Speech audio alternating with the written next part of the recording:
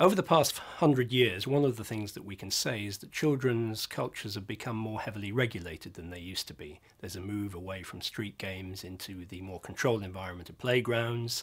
Children are more protected against perceived threats than they used to be. And although this makes them safer in many ways, it also constrains these spaces and the possibilities for play.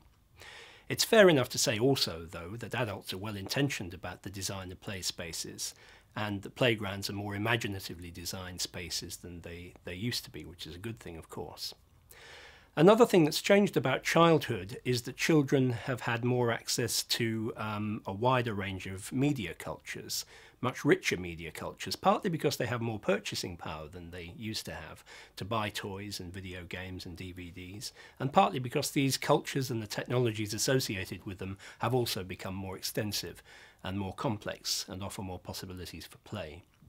The games are, very interesting because they, they are a combination of continuity down the generations and change. Children will inherit things and pass them on to, to their younger brothers and sisters and the younger children in the pl playground, but they will also make things up. Or they'll change things uh, whenever they want to. So some things will have lasted 100 years, others will have been made up last week. And, and again, the children don't really mind because as long as it works, they'll do it. Over the last 50 years, whipping tops have, have disappeared. Nobody, nobody whips a top anymore. Conkers and marbles seem to be on their way out. But clapping rhymes have come in.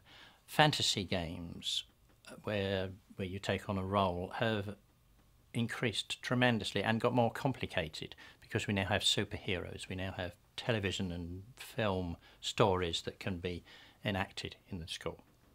So again, there, there's things on their way out, things on their way in. The hokey cokey has, has more or less survived intact for, for 50 years. Eeny, meeny, miny, mo has lasted for 100 years. But other rhymes, as I say, are, are much more recent.